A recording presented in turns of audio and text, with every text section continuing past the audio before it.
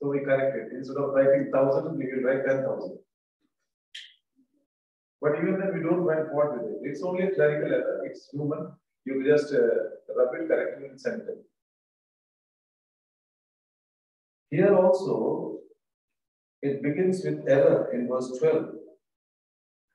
Then, if those errors are not corrected, we become conscious of, of it, and then it becomes a secret fault. That secret fault, if it is repeated again and again, it becomes a presumptuous sin. Presumptuous sin means, I will do like that. There is an example in Numbers chapter 13. Moses is telling them, please or keep this open, 19. Numbers chapter 13.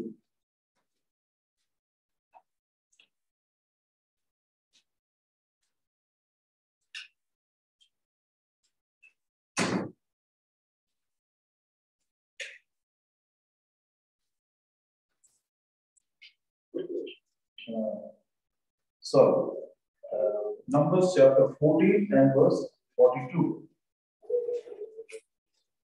O God, for the Lord is not among you, he be not stricken before your enemies.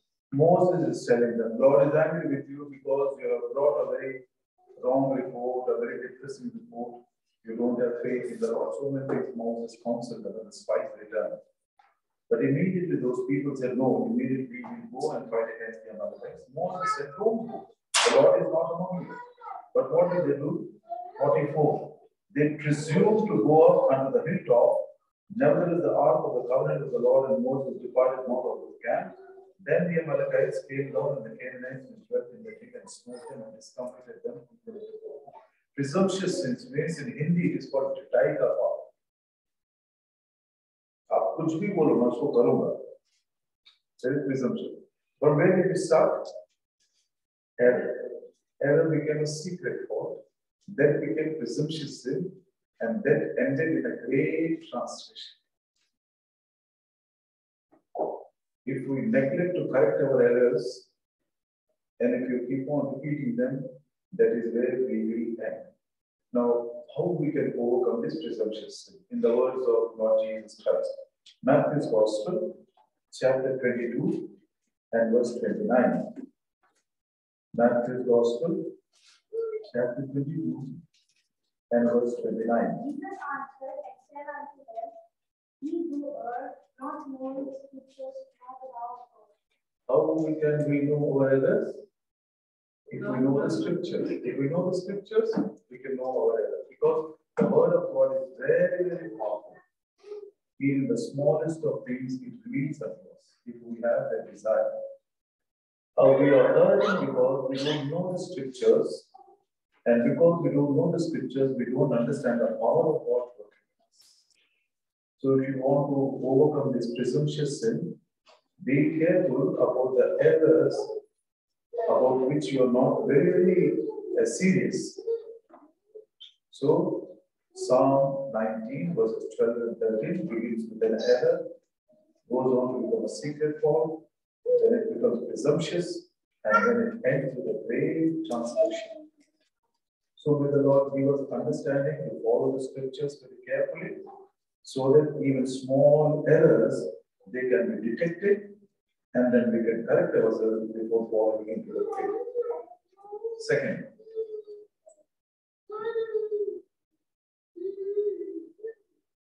Romans chapter 5 and verse 12. All must die. When the church raptures, does it mean that we die or we will be taken up like Enoch and Elijah? This is a question to understand about the first resurrection. The first resurrection, or what we call the mid resurrection, or we can call the secret resurrection, when the Lord will come in the middle. That is given to us very clearly in uh, 1 Thessalonians in chapter 4. This is what will happen. 1 Thessalonians chapter 4.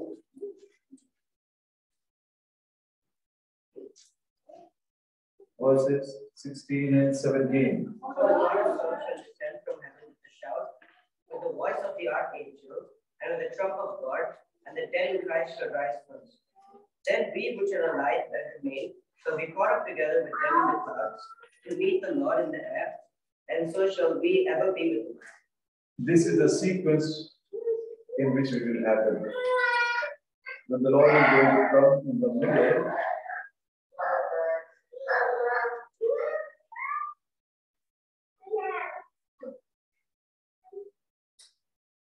when he will come in the middle, where is it written he will come in the middle? Huh? Uh, where is the word? Or is it in the 1 Corinthians chapter 15? It is just an information. 17. Huh? 17. Verse 17. Ah, in the Lord in the air. Verse 17. To meet the Lord in the air. He will not come to the ground. He will be in the air. Then those who are dead in Christ, they will rise up from their. Philip uncle one day, well, not one day, during the funeral of the Champak Labat, I was translating for him. I don't know from where he gathered that uh, uh, little bit of information. He said, when the Lord will come, exactly this 80 kilos of Champak Labat, though it is gone into the mud, that 80 kilos will be gathered and converted into glorious gold. That will happen for the dead. And suppose if we are alive, after that will happen, immediately it will come to us, and if we are alive and in the faith, we also will be changed, transformed. We will not see that and we will also have a glorified body. And both these people, the one who are dead in Christ and those who are alive, they will be transformed and they will have glorified bodies. They will meet the Lord in the air and they will go over. How long will it take to finish this transaction?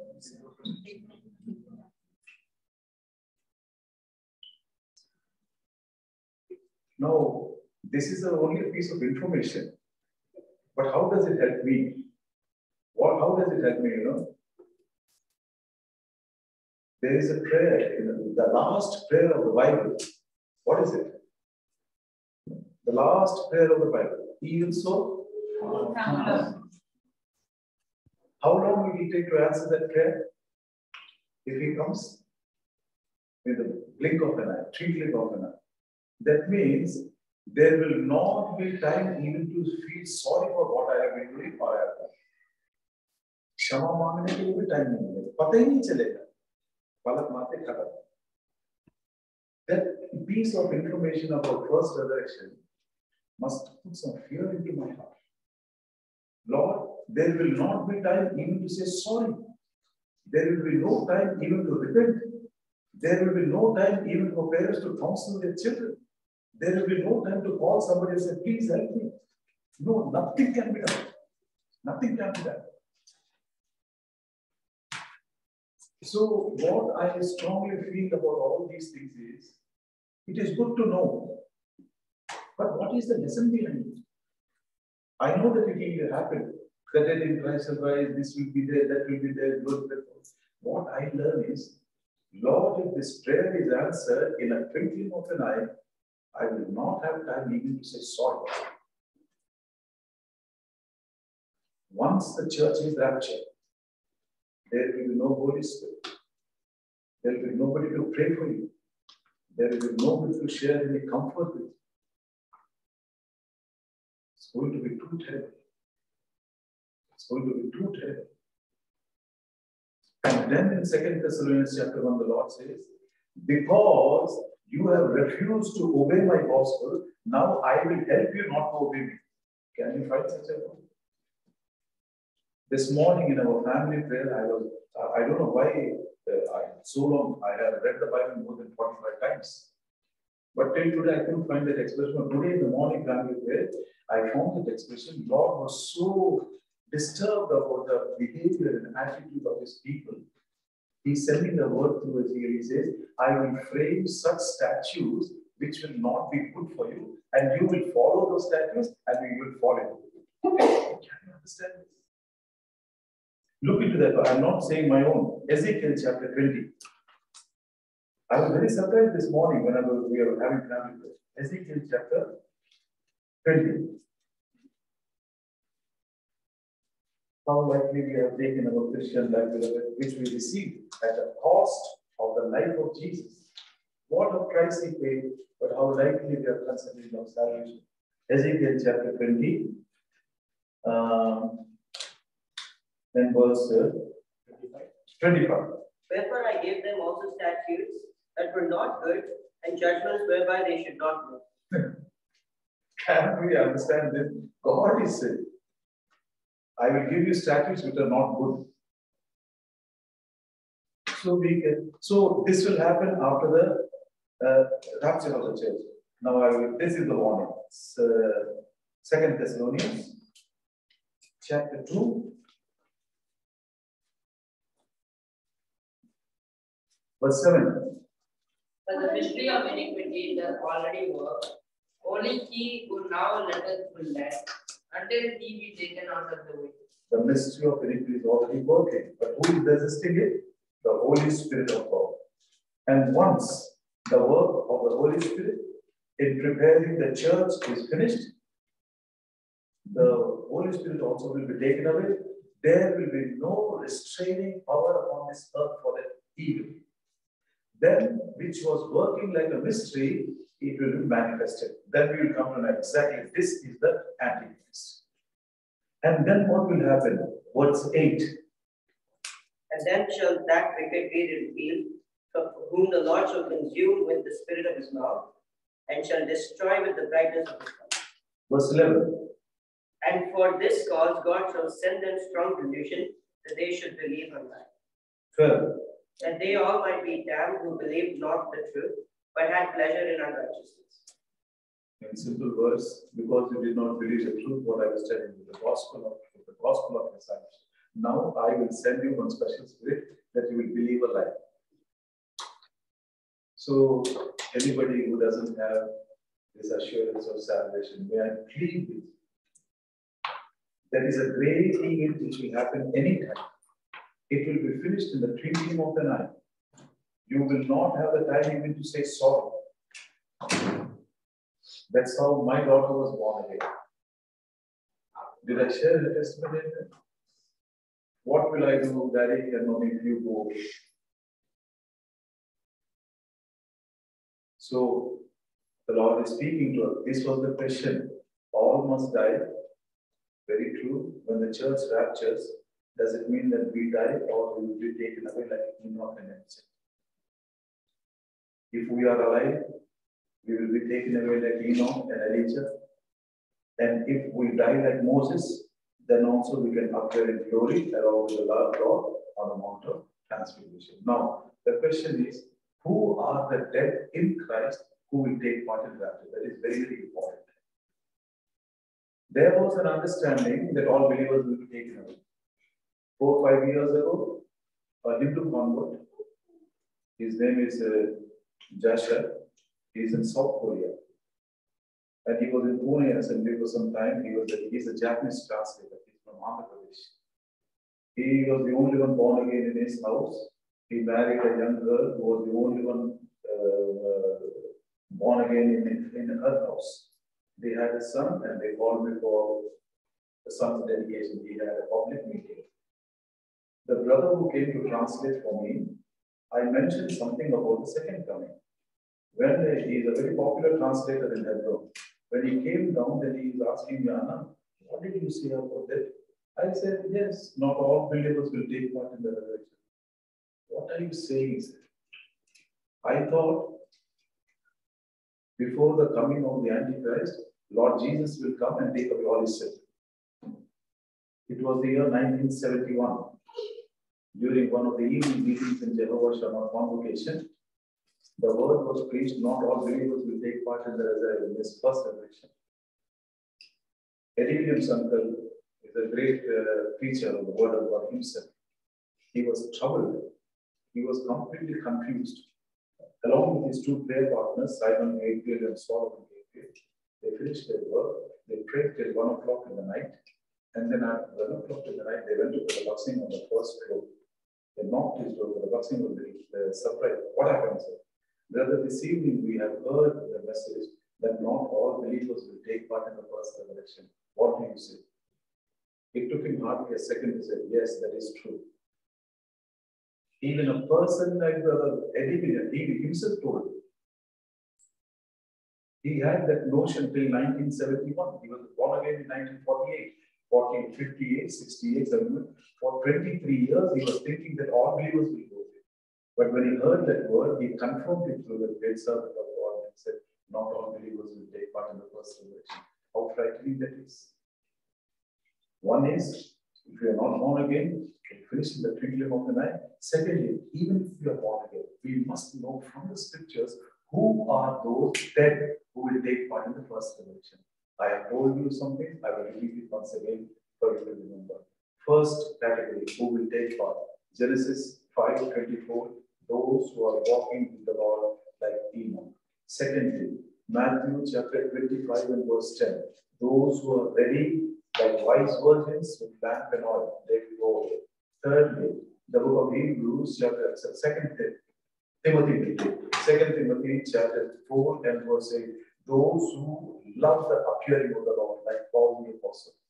And fourthly, Hebrews chapter 9 and verse 28, those who look forward for his coming. And then Revelation chapter 21 and verse 7, those who are overcomers. Think about it. What are the visiting things which I have to overcome? Yesterday we saw just one thing. Walking in the midst of the candlesticks, the glorified Lord Jesus Christ is very careful. He's telling me, you have so seen so many good things in you, Paul, but I want to tell you one thing. You have lost your first love. And when we compare the scriptures, we came to understand the maintaining of first love means willing to suffer pain and sorrow in that outgoing that. So this is how we can read the scriptures and see God, is there anything for me to overcome? Is there anything where I'm falling? I want to do my first works, Lord. Talking about the first works, yesterday we heard that what was the first work of the young people in the church? One brother came yesterday itself and asked me, Uncle, these days, how we have to remove that from the house of God? Do you know what the first thought came to me? This is how, in very subtle way, Satan deceives. Immediately we think, what is the death in Bethel that I have remove? It is not in Bethel. This is the temple. What is the temple? This is the temple. Jesus Christ always tells the truth. He tells the truth to the common man, to the people. He will tell the truth to the Pharisees. He will tell the truth even to the priests. And because he told the truth, all three put together, they crucified him on the cross. What did he tell the priests? This is not the temple. The temple in Jerusalem was a national symbol and a national pride for Israelites. The priests in those days, when you read Jeremiah chapter 7, they used to tell, don't believe this man Jeremiah, he's telling all the false matters. We have the temple, we have the temple. God is in the temple. Which enemy can uh, uh, misover us? So, in the name of the temple, they were deceiving the people of God. Then the Lord Jesus said, Don't take pride in that. This is the true temple. So when I look at my own temple, the house of God, where the Holy Spirit was, then I find some things which have to be removed. Yesterday we saw some weights. Then again we saw some sins. This way afternoon, just to answer that question, I will tell you one thing. There are idols in our heart which have to be put away, which have to be thrown away. See Ezekiel chapter 14 and verse 3. Anybody can read? The book of Ezekiel, chapter 14 and verse 3. Son of man, Son of man, these men have set up their idols in their heart these have set up their idols in their heart. and put the stumbling block of their iniquity before their face. Ah, Should I be inquired of at all by them? see, should we not remove idols from our heart? Invisible things. We don't have idols of silver. Very true. We don't have idols of gold. We don't have any visible idols, but idols in the heart.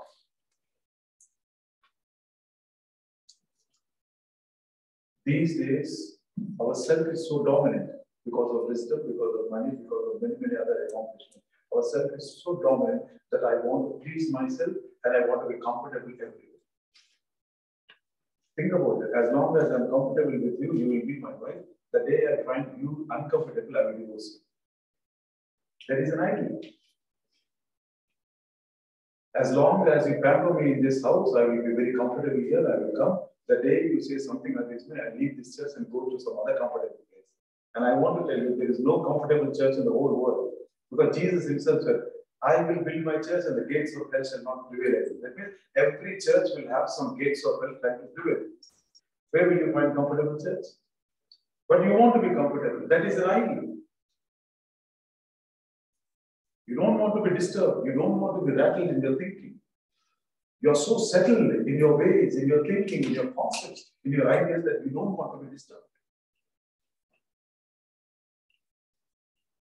Young people also nowadays, they have their own set of ideas and concepts.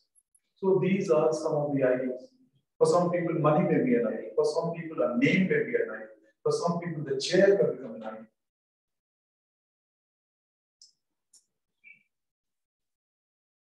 Sometimes I receive letters uh, from the elders and underneath they put a stamp, trustee, and they sign. I remember what the Bakht Singh used to say, chairman of the broken chair. so like the trustee of the broken trust. See, all these things have become idols for us, and they are not allowing the law to occupy the throne of our heart and to accomplish, some purpose. Huh? Some rates we got from 1 Peter chapter 2 and verse 1, and then, uh, then we are, because of those weights and weights and everything, we are not able to run the race. So we have to remove them. And as Peter says, lay aside. Lay aside means like in the morning when you go to your, your bathroom, you take out your old clothes and you put it into the bin. Unless it is washed, you will not even touch it again. Like that, throw it away. And then put on fresh clothes. Do away with all those things. All the ways, all the besetting sins in your life. And the third thing is be careful about the idols. Be careful about the idols. Nobody can see them. But you know what idols we are harboring. It may be money. For some people, it is their job. For some people, it is their career. For some people, it is their friends. For some people, it may be some wisdom. No? Fashion also may be an idol nowadays. Whatever you may say, but no, that fashion is so many things. are. May the Lord really cleanse the hearts of our life so that there will not be any hindrance whatsoever.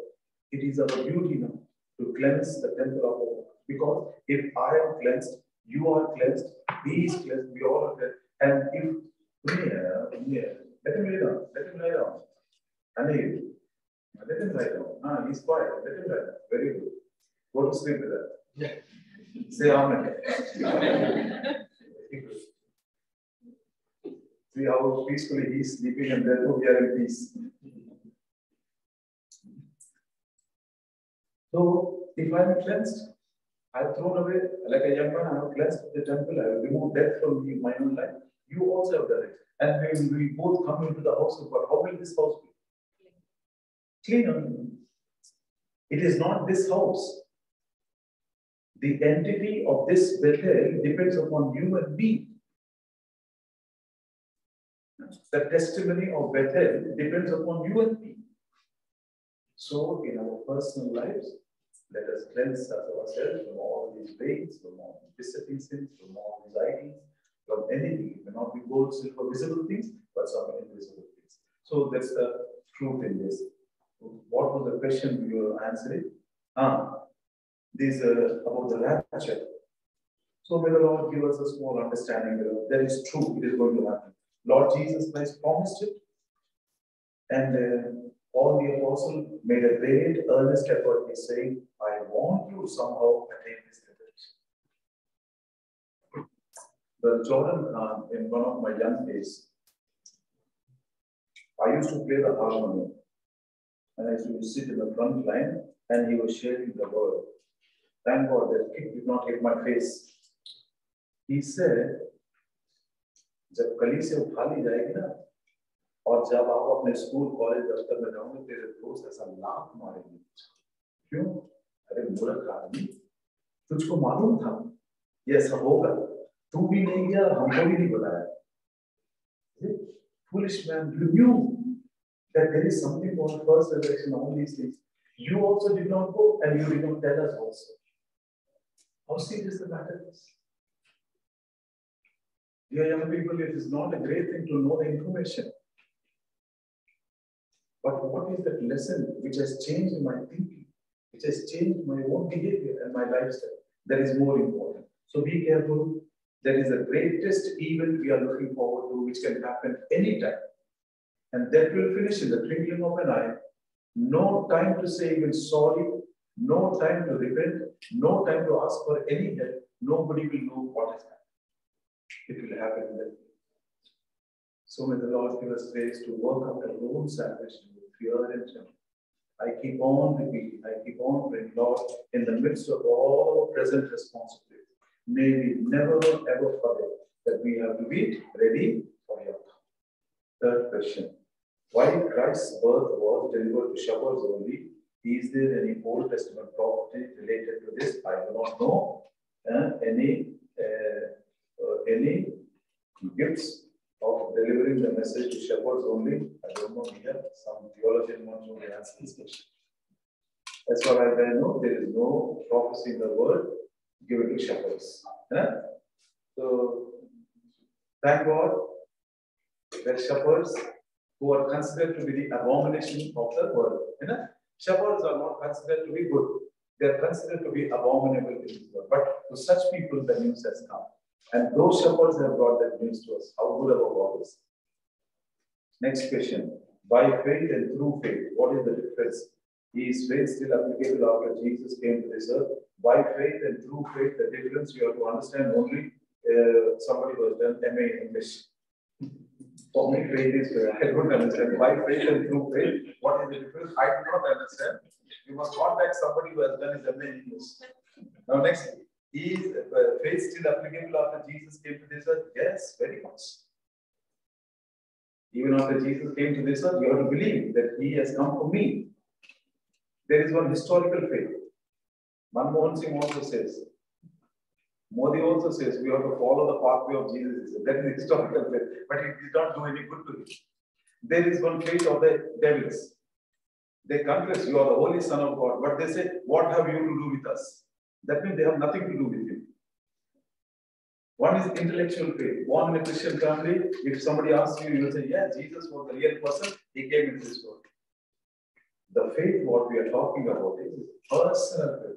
Jesus Christ loved me. That's what Paul says in Galatians 2:20. Jesus Christ loved me and gave himself for me. The price he paid, it was for me. I'm so precious in his sight. So there is a faith, and that faith which must continue in you as we heard, that living faith in the gospel must become strong faith in the promise. It must become an overcoming faith as we look unto the person, Lord Jesus Christ, whom we want to see, and then the wonder working faith, the day when the Lord will appear. We are going to hear that voice. We will be transformed and we there are many, many whatever incentives to take part in the first election.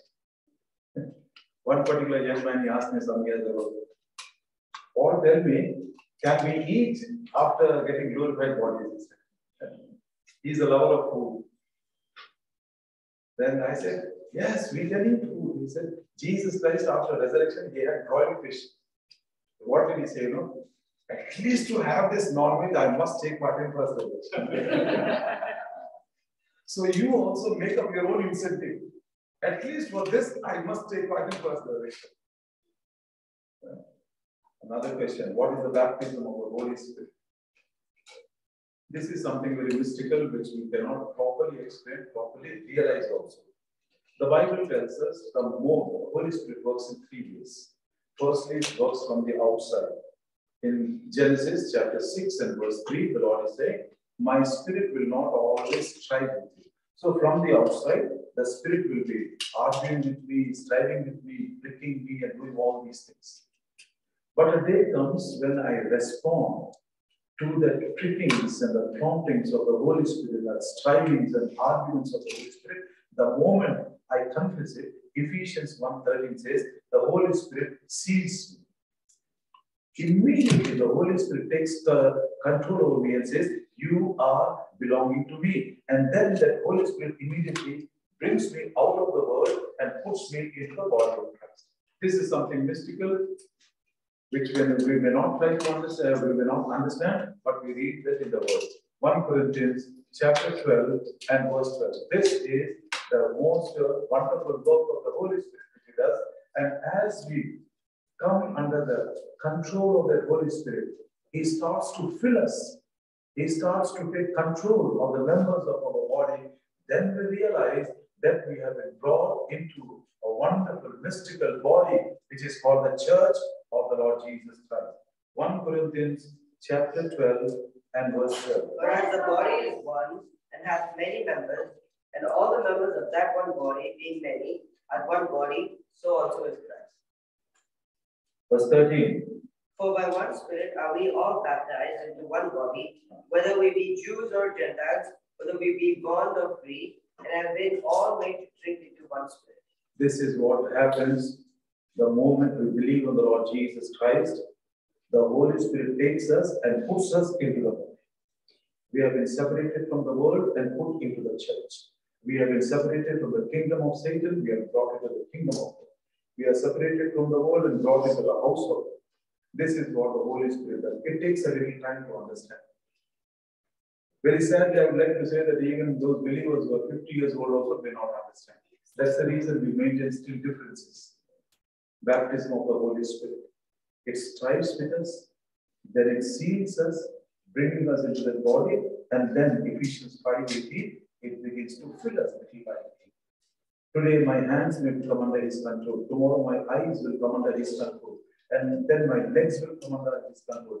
Slowly, slowly, little by little, as the Holy Spirit keeps on controlling me, my thoughts also he will control. That is called the filling of the Holy Spirit. Huh? That uh, is in short.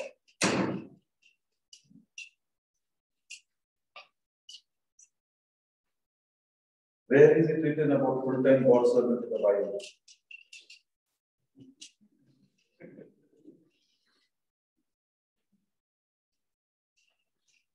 Let me tell you, there are two uh, types of persons in the administration of the church. One is a servant of God and the others are elders. What is the difference between a servant of God and an elder? Please open with me to Philippians chapter 1 and verse 1.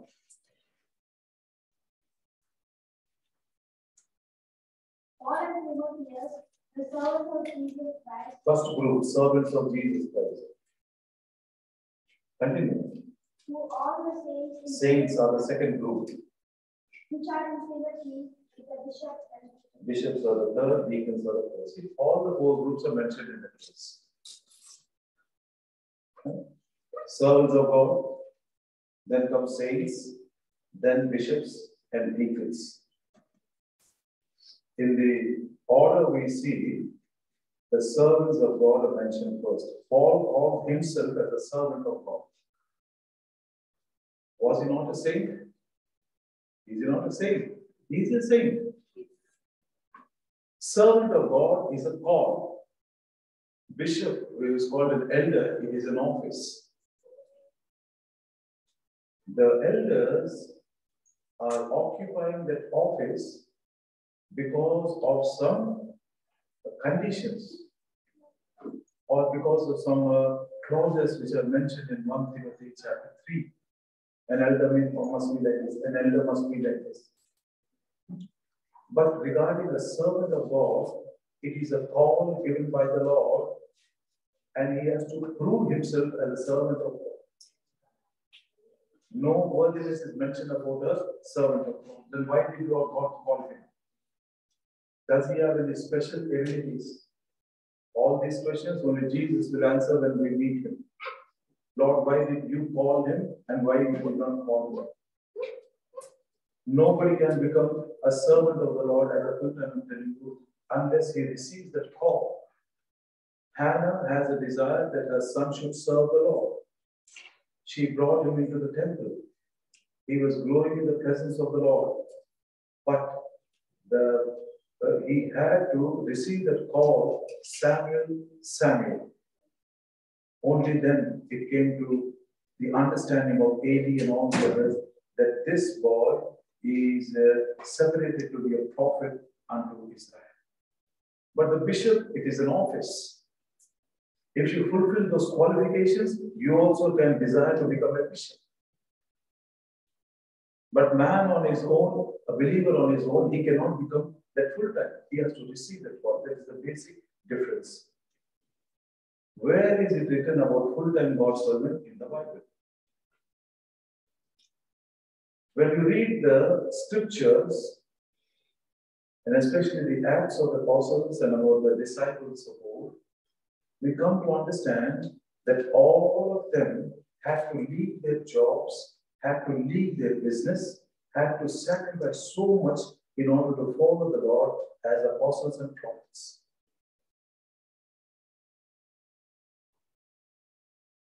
These servants of God, whom we call the full-time servants of God, of course, the term is not a full-time.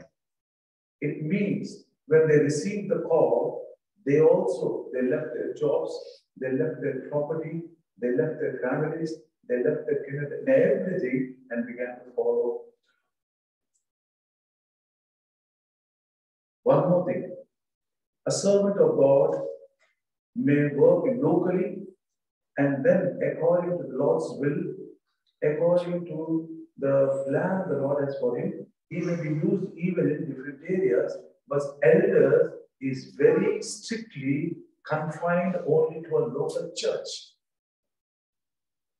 An elder of Bethel, he cannot exercise any authority over the people in Philadelphia. In a city, there may be 20 branches. The elder is localized office. An elder of one branch, we cannot say that I am the elder of the other branches also. That is localized uh, office. But a servant of God who has been called out by name, according to God's will and according to the plan God has for him, he may keep on serving, sometimes here, sometimes there, here and there. there. That is the understanding what I have to say. Second, what is the need of full-time God servant to the local church? I will not go into any controversial statements. We are the flock. What are we called? We are the sheep following the shepherd. Sheep is the only animal in the world which requires care 24 by 7, night and day. It's the only animal. It cannot be left alone even in the night time. The shepherd, during the daytime, he keeps on leading them, feeding them, giving them water, this and that, everything. And night time, when he brings them, he shuts them into the door and he doesn't go back home.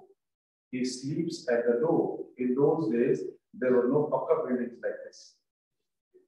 It's a door, he will put some rod there and he will be sleeping. That's what Jacob said. Daytime, the sun hit upon my face. Nighttime, my head was filled with dew. The life of a shepherd is very, very hard. Very, very hard. Practically, I have seen wonderful blessings falling upon the local congregation who had the ministry of a full-time shepherd and a full-time servant. You call him at one o'clock in the night, he will come to pray. You are going to the hospital at three o'clock in the morning, he will certainly follow you to heaven. We can't expect this from those who are having a full-time job. Try as much as they can. They are doing only up to a limit. They have their own place, they have their own responsibilities, they have their own duties. But when you talk about a shepherd, when you talk about a full-time servant of God, he doesn't have any time, he doesn't have any vacation, he doesn't have anything. It's been 27 years since I came out of my house. I did not take one day vacation. I don't know what is vacation, going just to meet somebody. Is it? So, if the local congregation has such a person, like a shepherd, 24 by 7, full-time person, what assurance it gives to you. You have somebody on whom you can count 24 by 7. Night and day you can call it. Night and day you can count upon. And if the Lord has called him with the spirit of a shepherd, very tenderly he will. So that is the advantage. Because this question has come, I don't know. May I put this burden of my heart to you? You also pray. I will, I will beseech Brother John Albert and all his other co-workers, those of, though people consider you like a father figure, but still we have our own limitations along with the job. You pray, Lord, we are like flock, we are like sheep. We need your care 24 by 7. Somebody who can counsel us, somebody who can visit us, somebody who can take care of our children also, somebody who can take care of everything else. So if that is uh, uh, the Lord arranges, it will be a very blessed thing. What are the roles and responsibilities of full-time local God servant? What is the responsibility? You know, don't give him a vacation. Huh? If the Lord sends you a God servant, tell him, this is your role. You don't, you should not take one day vacation also. And so that is some of the questions which we have asked them. Now it's a very big paper. Can we believers and followers of our Lord and Savior Jesus Christ wear gold and silver chains and rings from top to bottom, head to toe? I'm tempted to look at some of them and is it true like?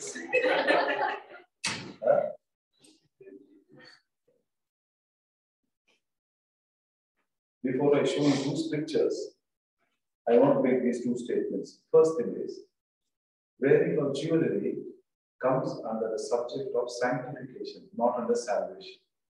Salvation means by faith. I have believed and I have put my trust in the Lord, and uh, God has forgiven me. For salvation, faith and faith and faith.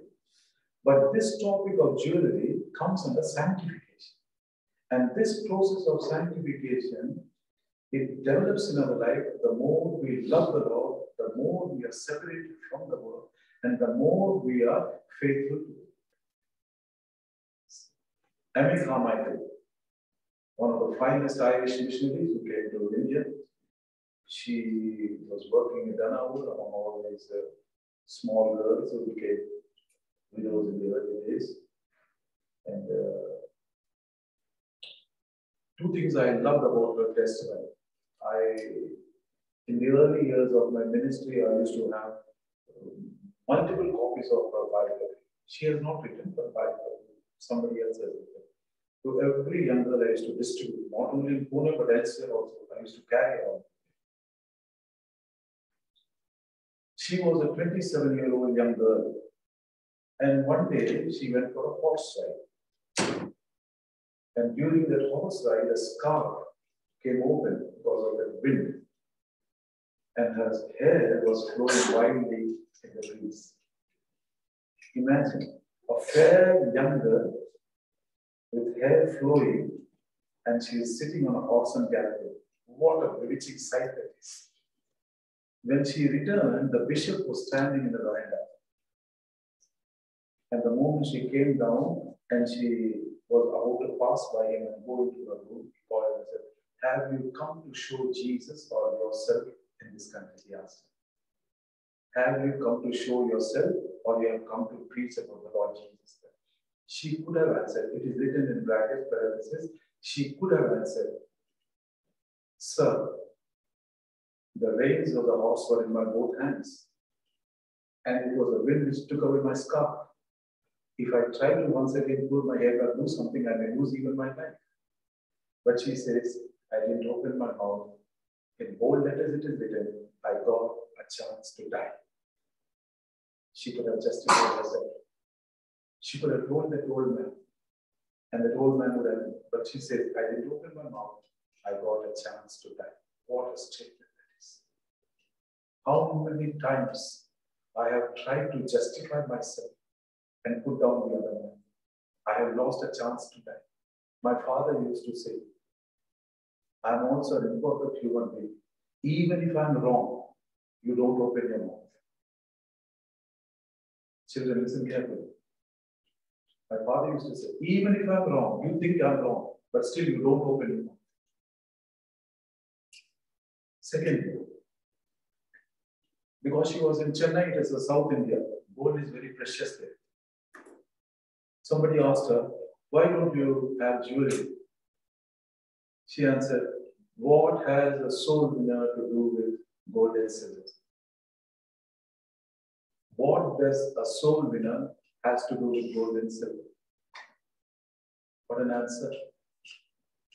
As I told you, beloved, whoever has asked this question, I do not know.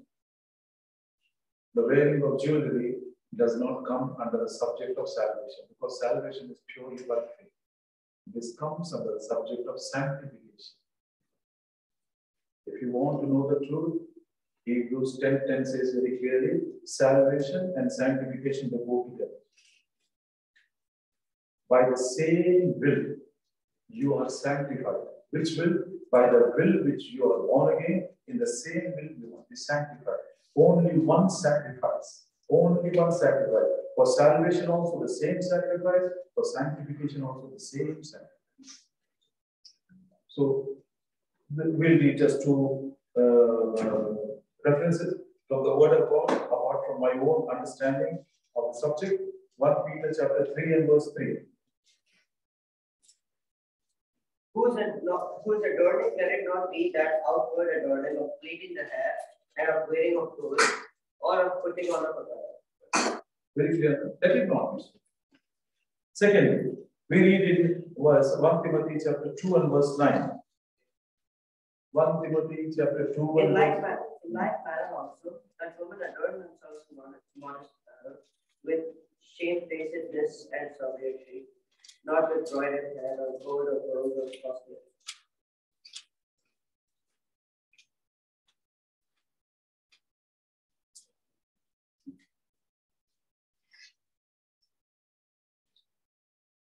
In like manner also, that women adorn themselves in modest apparel, with shamefacedness and sobriety, not with broidered hair, not with gold, not with pearls or costly. Somebody asked me, can we hang some bones of in our ears? some uh, wooden things are also there, you can do now. Some plastic things are also there, very shiny, they look like pearls.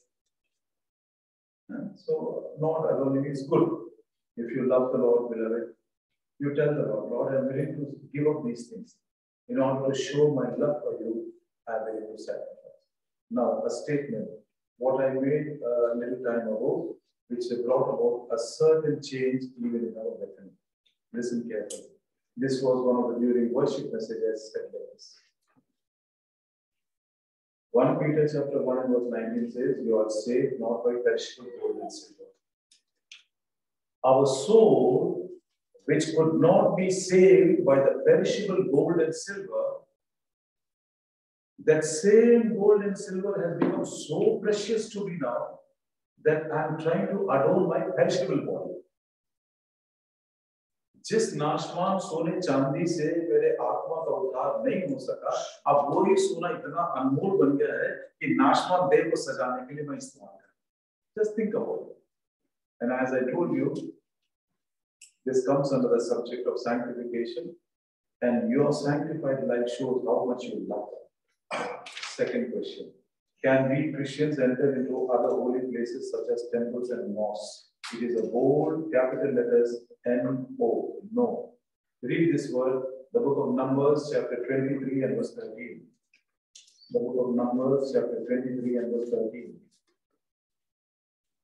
And Balak said unto them, Come, I pray thee, with me unto another place, from whence thou mayest.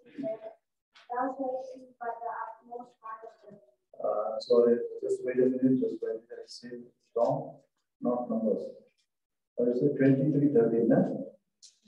Uh, 23 and verse 13. Sorry, Exodus 23 and verse 13.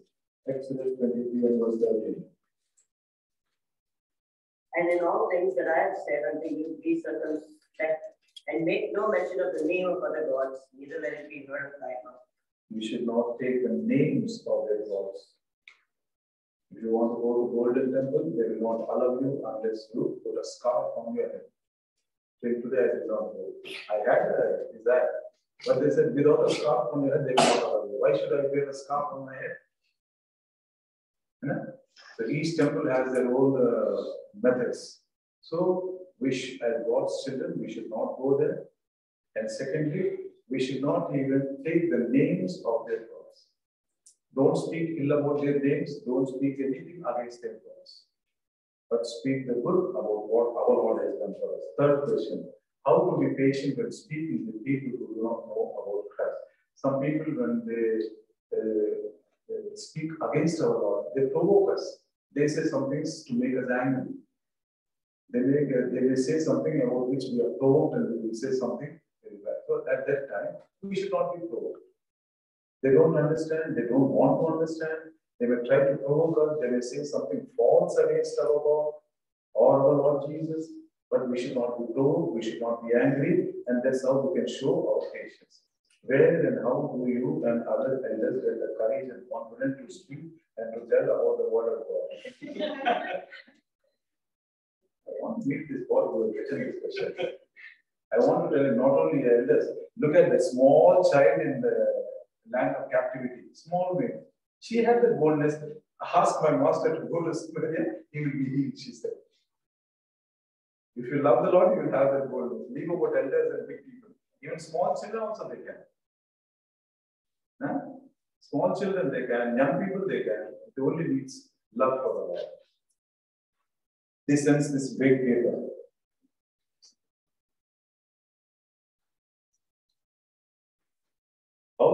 In prayer that the thoughts disturb us from Joan. He has written his name.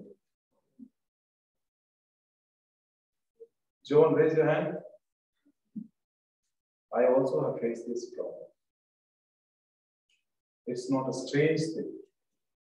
Brother Bakht Singh himself has faced this problem. Somebody asked him, Brother, I can read Bible one hour, but I'm not able to pray for five minutes also because my thoughts keep wandering and I go to sleep. the Bakht Singh told me, I'm also facing the same problem. I will pray for you, you pray for me. And people used to say about the Bakht Singh, he used to sleep in his prayer and pray in his sleep. Yeah? So this is a common human problem. So one good thing I learned from my wife is she keep on. I get so disturbed. there is no she prays. She says that helps me. So you also have to do like that. Don't be quiet. If you stay quiet, you will go to sleep. So you also open your mouth and pray loudly. That's the only solution I can think about. Otherwise, it's a common believer's problem. And then can bring laptop, iPad to the pulpit every time when giving message.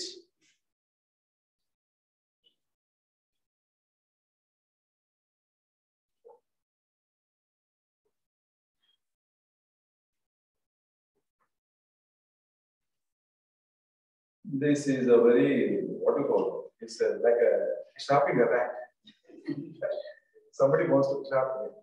I counsel young people not to bring this electronic gadgets into the house. We don't need it. We don't need it. If anybody wants to preach a message, and if you're not able to remember your thoughts, do one thing. Sometimes I write some some new references, some of the old things which are in my memory, I need now. Some of the new references, if I want to connect it, I just write it. This I can develop even for one hour. So you can write on a piece of paper. You can write a piece of paper. Some people they read the Bible in the mobiles. So one servant of God said, What is this? Tell it clearly. Do you have the holy mobile? Yeah, that's the difference. So if you want to write a message which you cannot remember, I will counsel. Don't bring laptops, don't bring iPads and all these things. Use a paper. Use a paper. It's enough. You are not there to write the whole message word to word. Some sketch of the message And then when you stand, the Holy Spirit of the Lord will help you to fill in those blanks and the message will be full. So uh, it is my personal opinion. Don't bring laptops, don't bring iPads, especially to the pulpit when you're giving a message. Use pen and paper. If a person does not worship in the congregation, can he still give worship message in the church?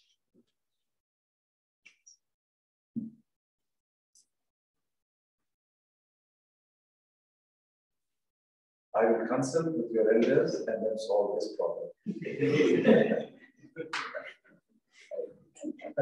Why do you want to tap me? I'm who has come here. If you want to know what I am doing in Pune, I'm inviting you for the youth camp from May 16 to 21. You come there along with this slip and give this slip there, then I will answer what am I doing. It's a, it's a practical matter, what to do, some things are happening.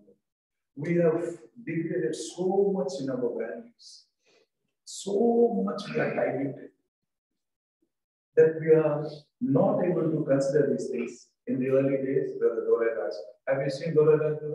No. You're not. I also have not seen, but I've heard about it. Brother Dore Raj, the first elder of Jehovah Shammah in our tradition. Everyone also was not there. Dore Raj, Radharatna, and Rajnani. Uh, you have not seen it. You have not seen it. So, Dore Raj, brother, after the table exhortation, he used to go to break bread and in those days, I'm talking about 1950s, first time carbon paper had come in India. Nobody knows what is carbon. Carbon paper is, children do not know, you can keep that carbon paper and you can take multiple copies. If you want to have three copies, write little more hard. So in one writing, you will get two copies, you will get three copies. So it was such a fanciful item that some of the believers, they quietly used to bring one to carbon paper school. And in those days, even those pins with which you used to join the papers. These are all new things. I'm talking about 60, 70 years ago. And they were so fascinated by the beautiful steel type of pin with a beautiful head. They used to bring some pins at home. Dore Raj used to say, you know, if you have brought a carbon paper from your office, don't raise that unclean hand to take part in the cake.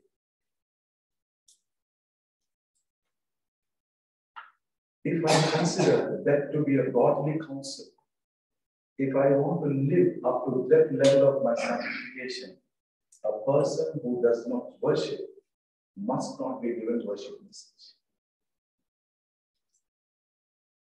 Think about the standards where we go. Brother Bakht Singh used to say during the convocations, some people they don't get leave, so they give false what certificate? Sixth certificate, medical certificate. But the Bakht Singh used to say, ask forgiveness from the Lord. Don't give fake medical certificate and come for the convocation. That was what our God servants were in the early days, our fathers were in the. The standard was so high, so sublime, I'm telling you, there was no difference between a God servant and an ordinary believer. They all used to walk in the same level of faith. Once again, listen to me carefully. There was no difference between a God servant and an ordinary believer. They all maintained that same level of faith, same level of sacrifice, same level of separation. I know my father, was working the railways. If he has to go for a vacation, he will go to the boss and tell him, brother, I have got leave, so I'm going to, uh, for the annual visit, I'm going to Ahmed. If the God servant will say, brother, you have to stay there because next week we are going for a camping or some the architect program, Ranchi is coming here and there to meet you. He will cancel his vacation and stay by a word of God. What life of unity, what life of subjection, what life of uh, what we call togetherness. We have lost all the things. Our hearts are scattered. Very sorry to say we have brought strangers into the work of the Lord. Those who have not received the fire from above, but they have brought it from outside. And such people in many ways have brought such destruction, ruin. So may the Lord help us. And I don't know who has given this question in this paper. If there is anything of this sort in the local congregation, at least for the sake of this young generation who are concerned about such matters, it hurts them. It may be a genuine concern for them. How can it be? So take care. If a person is not worshipping audibly in the congregation, is there any word that we should have audible worship in the congregation? Yes, there is. Psalm 111, verse 1. Psalm 111 and verse 1. Praise ye the Lord. Praise the Lord. I will praise the Lord I will praise the Lord. with my whole heart in the assembly of the upright Hmm. and in the congregation. In the congregation means how many people? Good number, say about 50. In the congregation, who will worship? I will worship. That's it. So, individual worship is one of the great privileges the Lord has given to us. I'll add a little more and then I close this session.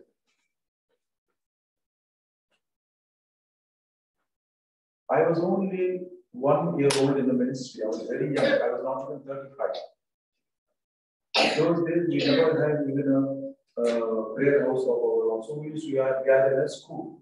A young man, 24 years old, Kumar, his name is, he came from World Vision to uh, attend our worship service. After the worship service, he was so happy. He came and he hugged me and said, Uncle, बहुत अच्छा लगा.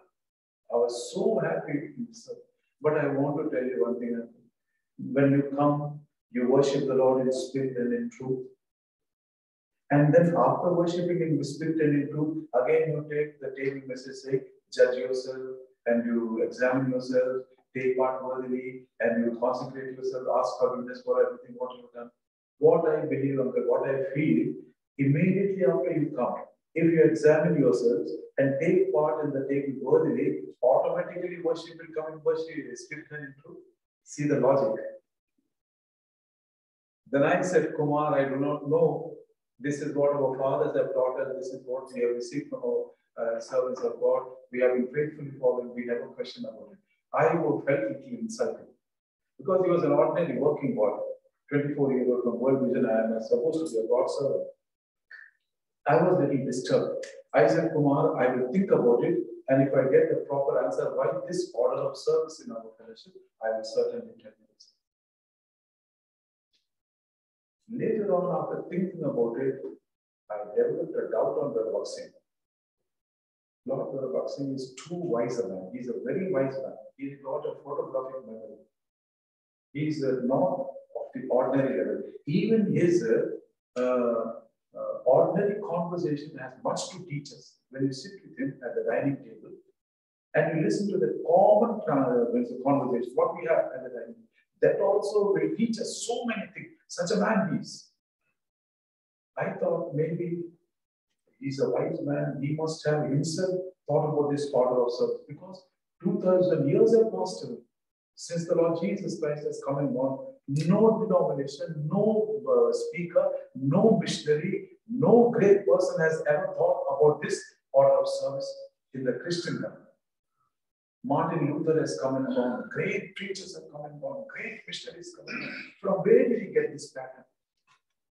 Singing of songs and then worship message, then individual worship, then table message, then taking part of the table, then the table prayer, and then we have the final message, then we have offerings, and then after offerings, we go away for open preaching. This is all I'm telling you, open preaching. After the open preaching, we come back to have our love feast. Immediately after love feast, we have the evening gospel meeting. And then if you come to the church at 9 o'clock in the morning, you will go at only 9 o'clock in the evening. After going back in the evening, you have to cook your food the early morning, 7 o'clock, you have to go to your office.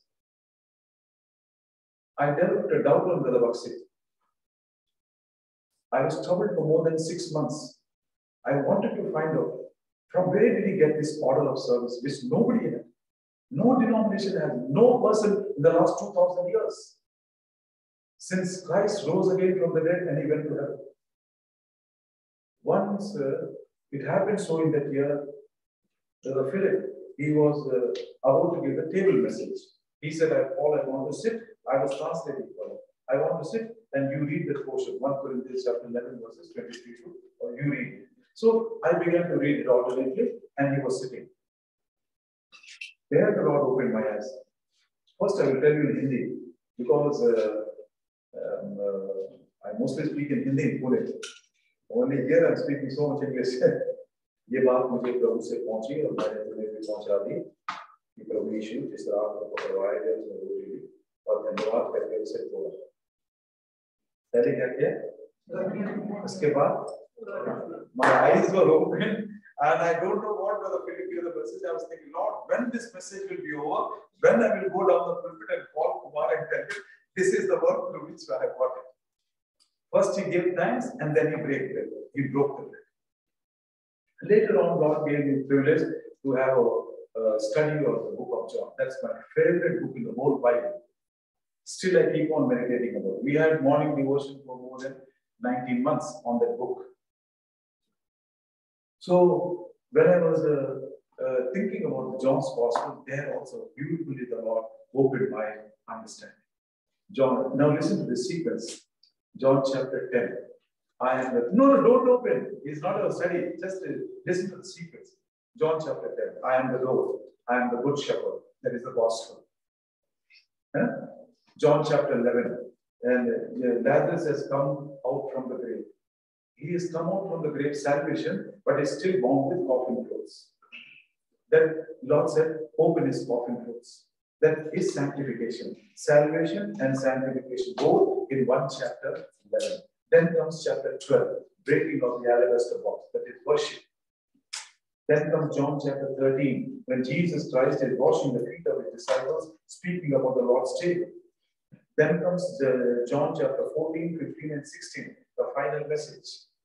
Then comes John chapter 17, the table prayer, where the Lord Jesus Christ is praying not only for his disciples, but also for those who are going to believe upon the Lord through their testimony. When they go to give the gospel, when they go to share the word of God, many people will believe. That means Jesus Christ was praying both for believers and unbelievers. That's exactly what we do at the day. Then John chapter 18, Jesus is standing before Pilate saying, This world is not my home. That is the preaching of the gospel, what we do. John chapter 19 is crucifixion. John chapter 20 is resurrection. John chapter 21, Do you love me? Yes, Lord, I love you. Come, start serving. Look at the sequence. John chapter 10, gospel. Chapter 11, salvation and sanctification. Chapter 12, worship. 13, Lord's table. 14, 15, 16, final message. 17, table prayer. 18, preaching of the gospel. 19 and 20, the work of the cross in our lives before we begin to serve. When I told Eddie uncle, when he came to me, when I told him, he caught hold of me and wept so much, he cried. And then he said, Paul, I will counsel you. Wherever you go, whether you have this theme or not, keep telling this. Worship is a privilege in our fellowship, which we have learned under the shadow of the great man, of the great man Bakht Singh. We are not praising any man, but we are privileged to call him as our spiritual father. He has taught us. Sometimes, Brother Bakht Singh, you know, he will not worship from here. Always he will sit on the pulpit, but sometimes he will not sit here. He will go out and he will come there. He will sit at the back. He will worship there and then come. He also wants to join like that and worship. It's an honor. It's an honor. In other words, beloved, it's just saying thank you. Thank you, Lord, for this gift of great salvation. Thank you, Lord, for the gift of life. If at least that we are not able to acknowledge. In some homes, when I give a chocolate to children and the child doesn't say thank you, what will the mother say? Hey, thank you, Shikha. thank you, uncle. What will the uncle say? Say you. We force our children to say thank you loudly. So I am also a servant of God like father. Now I will force you.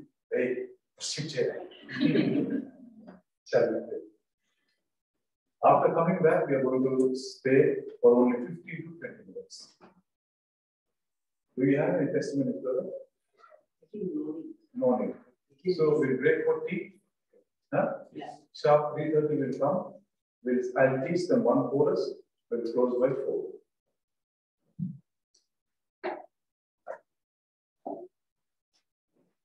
The father, we thank you for this session. Some very pertinent questions. Some uh, relating to doctrine. Some relating to our practical Christian living. Some relating to the